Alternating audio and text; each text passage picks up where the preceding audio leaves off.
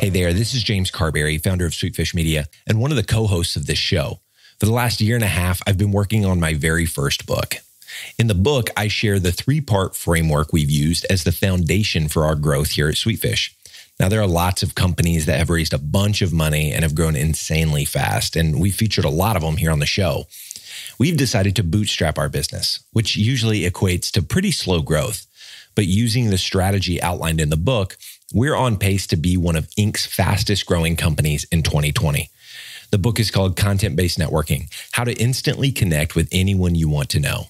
If you're a fan of audiobooks like me, you can find the book on Audible. Or if you like physical books, you can also find it on Amazon.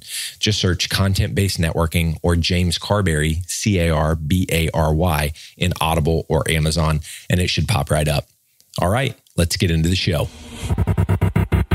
Hey, everybody, Logan with Sweetfish here. It's a new year and a new decade, and we're celebrating by rounding up the top 20 episodes as we look back on 2019. We'll be sharing them here throughout the month of January in our hashtag best of 2019 series. And coming in at number 12 is an episode that I got a lot of feedback on last year. Many people were really intrigued by what Sam Balter over at HubSpot shared around the SEO opportunity in podcasting right now. Welcome back to B2B Growth. This is another episode in our Why Podcast Work series. My name is Logan Lyles with Sweetfish Media. I'm joined today by Sam Balter. He is a senior marketing manager podcasts at HubSpot. We'll get into why podcast is actually in his title. He's also the host of the Weird Work podcast from HubSpot. Sam, how's it going today, man? It's going great. I'm so happy to be here. Awesome, man. Well, I would love for you to give folks a little bit of context. Obviously, anybody listening to this most likely knows of HubSpot, knows what you guys do, but give us a little bit of context on your background, what you and the team are up to at HubSpot. And then we're going to dive into some specific things. You wrote an article for Marketing Profs about, you know, a huge SEO opportunity potentially in the podcasting space based on some things Google is doing. But before we get into that, give us a little context, man. What are you guys up to these days? Yeah, so just for just for in case anybody hasn't heard of HubSpot, uh, we're a company that makes marketing, sales, and service software that helps companies grow. And uh, the show that I host is Weird Work. It's a podcast where I interview folks who kind of left the traditional nine to five jobs to pursue an unusual occupation. So for us, We've been doing podcasting at HubSpot for a few years now, and we've launched a couple shows. We have The Grow Show, we have Skill Up, we have Weird Work. And I've taken on this role of uh, marketing manager for podcast to kind of just grow our global audience of podcast listeners. So it's something that we are continuing to invest in. It's something that we see as a big channel that has a lot of room for growth. And it's kind of like, even though podcasting has been a while, around for a while, it still feels like very early stage right now especially for companies. Yeah, absolutely. I mean, there are some big indicators with Spotify's acquisitions last year, with the growth of the number of podcasts, but there is still a lot of greenfield opportunity. I think, you know, one of the things we talk about at Sweetfish a lot is, you know, when podcasting first came around, we weren't quite ready for it right? And now there are just a lot of uh, social and technological factors that are playing into what I call the second wave of podcasting. Uh, before we jump into the audio and SEO uh, topic for today. You know, something you touched on there, Salmons, how you guys have invested in podcasts and explored podcasts at HubSpot. And obviously, being a thought leader in the marketing space in B2B, I would love for you to share some of the things that you guys have thought about internally and other brands should be thinking about on why would you add podcasting to your mix because obviously there's reason why you've moved into this role you guys are dedicating resources to it give us a little bit of context there and what was the the thinking and the strategy for you guys yeah, I mean, I think a lot of companies are looking at podcasts now. They're looking at starting podcast. And I think part of the reason is just because more and more people find themselves consuming information that way. A lot of marketers are out there listening to podcasts and they think like maybe this is a viable channel for me. For us, we look at it as like podcast audience has also been growing, right? We're at a point where more than half of the United States has listened to a podcast, more than a third of the United States is monthly listeners. And we're also seeing that when you look at the demographics of that audience, for almost any business, it's a really great demographic slice. It's people who are young millennials who are well educated. So they're more likely to have kind of higher paying jobs. They're more affluent, things like that. So it's this really good group of people that businesses are going to want to interact with. So that's one thing to keep in mind is just like the audience is good and people are consuming the content and generally marketers kind of flock to those two things like content engagement mark and a good market. The other thing is for us and especially as we've started to kind of expand out the number of shows we have we don't we used to just have the growth show which was very thought leadership very business interviews focused. Then we have Skill Up which is very how to weird work which is a little more mass appeal. That podcast content is in itself really flexible right? Like you and I could have a podcast and this episode could be five minutes long. We could also release an episode next week that's a 45 minute podcast, right? It's hard to necessarily do that with a lot of other mediums.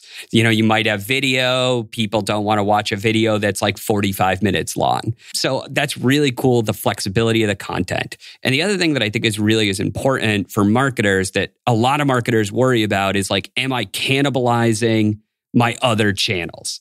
Am if I have people, if I'm pushing people to a podcast, is it going to be a more convoluted conversion process than having them go to a blog post? So maybe I should not ever do a uh, podcast because I want all my listeners to be on a blog.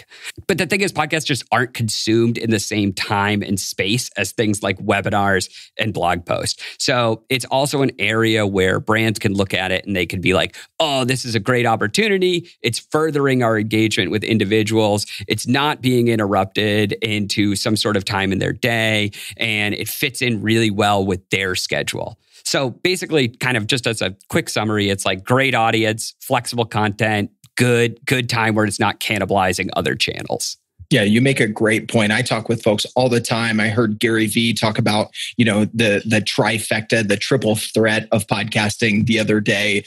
Uh, I was going to say on LinkedIn, but of course, Gary Vee, it was on LinkedIn, Instagram, Twitter, everywhere. Yeah, um, everywhere. But he talked about that idea of passive consumption. You know, whether you're walking the dog or you're driving, you're not taking up time where that attention, you're taking them from a blog post or a video or a webinar that they would be attending. You're gaining market share of attention like gary vee talks about you know day trading attention. That's what we want as marketers is attention and trust. And so you're gaining kind of this greenfield area of attention that's not already being taken advantage of. The other thing it made me think of is you know and this would be me getting on our soapbox here a little bit at sweetfish but you have a podcast it can feed those other content. You know we have a 30 minute conversation that turns into a blog post that turns into a 200 word status update on linkedin it turns into a little thread on Twitter, all those sorts of things. So I could talk on that for a while, but it, you summarized it really, really well, Sam. So let's dive into this topic that led you to write the article for Marketing Profs,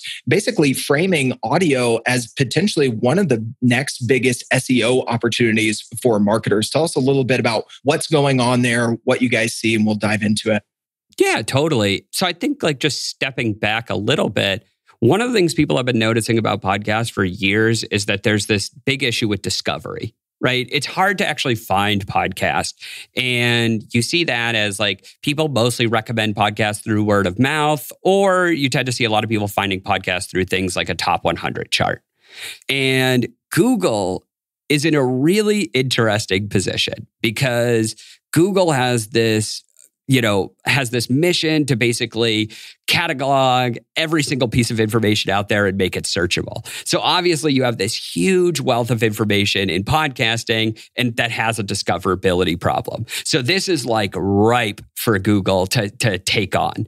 And one of the big things they said uh, last year is they've sort of mentioned we want to double the number of list of podcast listeners globally in the next few years. They've done things where they've started building more podcast into their phones, into their software, into everything they have. And they've also mentioned that they're going to start surfacing more and more podcasts up in search results. And once somebody mentions Google putting something into search results, like obviously marketers are going to take notice. So that's sort of where we're at now. We have the, the big problem that they're trying to solve. And then the question is like, how is that going to kind of play out? Like how and what is that opportunity? So I think the important thing for us to think about is like Google wants to get a bunch of people listening to podcasts. So that means they need to get podcast content in front of people more often. So the first thing they decided to do was transcribe all podcast content right? All podcast content is already being transcribed by Google in this point. So now it's a question of how is that content going to get start getting surfaced up? And I think the best analog to look at would be how did YouTube videos move into search? And I don't know if I don't know if you remember like the sort of pathway that you saw. Like first there was a little video tab on Google. Then there was like, you started seeing if you typed in, you know, maybe interview with Kim Kardashian or something like that, there would be all of a sudden it would pop up and you would see a video on top of your search results in a carousel there's a really good reason to believe that this is how Google is going to move podcast results in.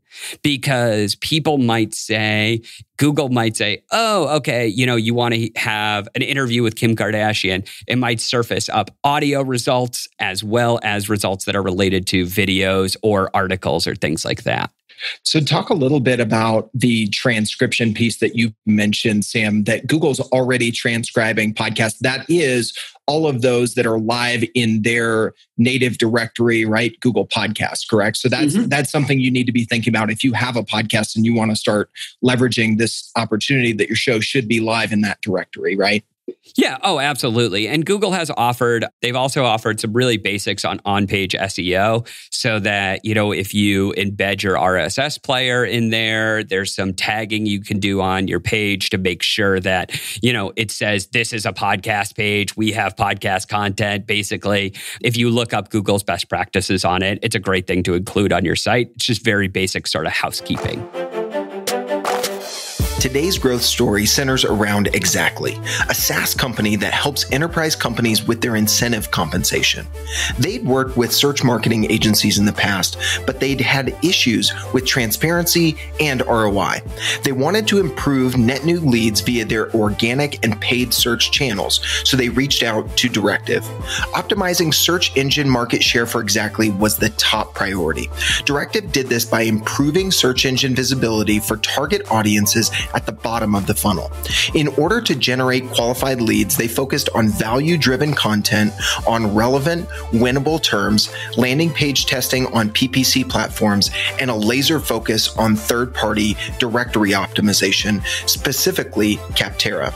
Directive grew sales accepted lead volume by 100% increased Capterra conversion volume by 336%, and boosted pre qualified clicks to Capterra by 39%. If you're looking for results like this with your search engine marketing, there's a good chance Directive can help. Visit directiveconsulting.com and get a free customized proposal. All right, let's get back to the show.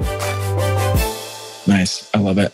So, where do you see some of the folks that are maybe not not podcasting yet what is the opportunity for them with audio being added to search um, and and how should they be thinking about it? You know quantity types of shows what what is going to likely play into this the most? I mean i think in your article you mentioned like the big winners are going to be folks that already have a ton of content. So if you're not doing audio content yet just start because that volume there it's kind of you know maybe like the early days of you know when when hubspot started putting out massive blog content and then and the quantity you know was number one and then it starts to become other things the strategy the quality all those sorts of things. So talk to us a little bit about there because i think you know you being at hubspot there's some interesting correlations here of what you guys went through you know maybe 10 years ago and the shift in audio here you know much like you guys leveraged blogs when that was less of a crowded space yeah, totally. I mean, HubSpot has done an amazing job of creating content in uh, basically text content over the years. Like we've really thrived at that. And I think being an early mover and having a high production sort of method of creating a lot of blog posts and then going back and highly curating, like that has been a very, very effective strategy. For brands, I think it's, or actually, I think it's also sort of important to think about blogs as one of the things that helped HubSpot's blogs do well is we understand how the search result and the blog end up getting to each other, right? We started writing blogs that were saying how to because we know that's a term we know that when two things are verse each other, that's a term. That's a what a thing we should write.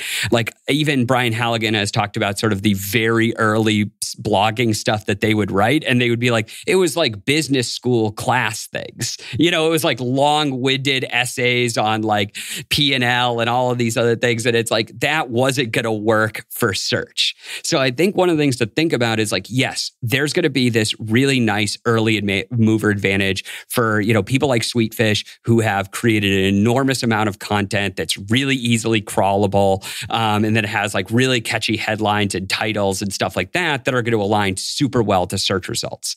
So the people that are going to do well in the beginning are definitely going to be people who have all of this stuff already. But I think to your question, more like you're just starting out. What should you do? Think about it. In my mind, it's like think about how search is going to change the format of podcasting. And in a lot of ways, like if you think about how podcast will be consumed in a search sense, it's probably going to be shorter episodes right? If you look at the top 100 podcasts, the average episode length is about 45 minutes. But if you think about how people are going to find podcast via search, I got a feeling that it's going to be a lot more shorter episodes because shorter episodes increase more ranking opportunities, which means you're going to show up more often. The other thing to think about is like how you structure all of your information. And the way we talk about things a lot at HubSpot is the pillar and content cluster model, where you have one sort of big central topic, and then you have a bunch of clusters of topic after at uh, around that. So let's say this is a great example: why podcast work series. This is a topic. This is a definitely a central topic. And then you have several episodes around that topic that are all feeding into it, right? Like people who li- who might like this episode might go back and find another one. So I think when people are going into the future and they're thinking about, okay, I want to start a podcast, think about it in a like seasonal topic structure format. The show doesn't have to release on the feed that way, but like you want people to say like this is a big topic we're going to cover. We want to have lots of little episodes with lots of titles that are that are tied to searches that we think people are going to have and then we want all that content to be connected together in some way, either by a season or a theme or something along those lines. So you really want to think about the quantity of episodes you're making. Like you want to make a lot of episodes that are going to be short and they're going to have and they're going to be connected to keywords that people are going to be searching for. But the thing you don't want to do is you don't want to just totally skimp on production and make kind of a crappy podcast. Like if you make a crappy podcast, people are not going to listen to it. They're not going to, you're not going to get downloads and people are not going to go to the next episode. And so one of the things to think about is like, how can I get a broad topic that's focused enough where I could build out a whole bunch of material and usefully answer people's questions and be very helpful and how can I make a show that after somebody listens to one episode, they want to listen to another. So I think those are the two things you need to balance both answering the questions and appearing in those search results, as well as on the other side of things, actually making a decent show. Yeah, yeah, absolutely. Two things we are we are advocates of, you know, uh, developing a show that's going to last a while that people want to listen to. We've always leaned into on B2B growth, short tactical episodes that we can get granular, you know, when we talk about ABM, we kind of try to get beyond the the why and like let's get down to the how of starting or taking to the next level or whatever. So the things you're saying are just things that we think about all the time and volume being important as well because you know you to leverage that searchability and also just leverage the serial nature of podcasting right? If they're hungry for more and you don't have anything else in your feed for a month it, it's tough to to build that audience over over time. As we wrap up here sam uh, you mentioned something uh, on just you know, another thing that brands can be thinking about in how they how they leverage ad spots things like that. I think that would be interesting a little bit tangential to what we've been talking about here but just something else as we close things out. Any other uh, words for uh, marketers especially at b2b brands thinking about podcasting with all of these things we've been talking about? Yeah i think that I talk to a lot of, you know, small to medium companies who are looking to start a podcast. And I think one of the things that people struggle with is how do I how do I make this like an asset, right? Like a valuable asset that's going to last a long time. And one of the big ways that I think you can is by thinking about it through search, through Google search, things like that. The other thing that I think about is ads. And like, we don't need ads on a branded podcast. Like, it doesn't, you don't need them there, but they're useful in terms of breaking up an episode and they're useful to promote other services that the company might offer. So let's like kind of think about it as you have all of these listeners how do you get all of these listeners to hear another thing, hear another product, hear another service? Well, you can where you can run an ad. Like there's ads in the front of this podcast promoting other things that you guys are doing, which is really good. And I think that is helpful for explaining to people who are thinking about starting a podcast why it's going to be valuable long term. Like a blog post isn't just a blog post. A blog post is also a place where you could put a call to action. The blog post is what gets somebody in. The call to action is what moves them down the funnel. In a branded show, a branded podcast can basically get somebody to engage with your brand in a new way. It can increase brand affinity, and you could use the ad space in it to all of a sudden, you know, promote a service, promote a free product, promote an event or something like that. And for me, when I step back and I look at the future, and it's like, you see the advent of dynamic ad insertion, which, if anybody's unfamiliar, dynamic ad insertion is where you take basically you mark a moment in the podcast and then you say, This is an ad. And then you can swap out ads across all of your podcast. So if we imagine a show like B2B Growth, like if you guys had been doing, you know, tagging every single episode with an ad, you probably get, my guess would be like a large chunk of your downloads come from your back catalog imagine if one day you could just you have an event coming up it's in san francisco you you say one ad for that event you click a button and all of a sudden it's distributed across hundreds of episodes. It's in front of thousands and thousands of people. Now all of a sudden the podcast has gone from just this one time content play to like a full machine. And i think that a lot of people who are looking at podcasts now are a little bit confused about how to get from I want to make a show to I want to make this part of my marketing strategy. Right. And I think if people could see the value of podcast as evergreen content, if they could see it as a way to drive uh, people towards, you know, new things, new services, new products, it's going to have a lot more legs. It's going to go a lot further. Brands are going to get a lot more value out of it. So I'd say for people to look looking to start podcast, get out there, go start today. Try and make some of your content on your own. It's not easy. It's going to be a struggle, but like you can you can do it and the opportunity is like really now and it's starting it's only going to get harder. That's that's the main thing I'd say. It's only going to get harder to get into this space. So it's better to invest in this kind of stuff in the beginning to take advantage of these kind of disproportionate rewards. I promise, guys, I did not tee Sam up uh, to do it that well, but he did it about as, as good as I could. Um, and, and, you spoke to some of the things there, like back to the tactical examples of how we use our own podcast with a pre roll ad spot for Sweetfish.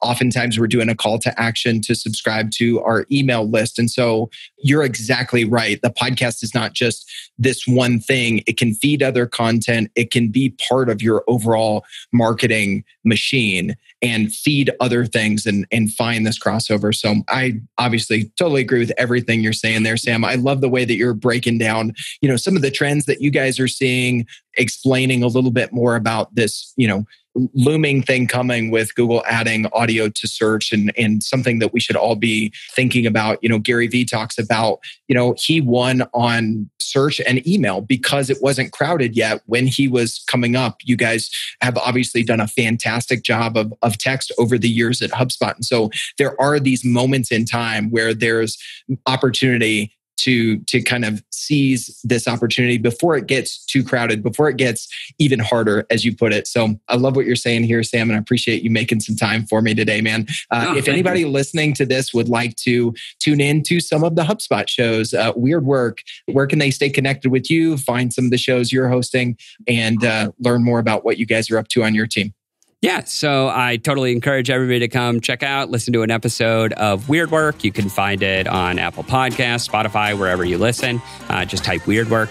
And if you want to connect with us on social media, it's just Weird Work, or me, it's just uh, SB Balter at Twitter uh, or on Twitter. So yeah, that's that's where you can get me. Please ask me any questions you have about podcasts, any questions about starting things. Always happy to chat.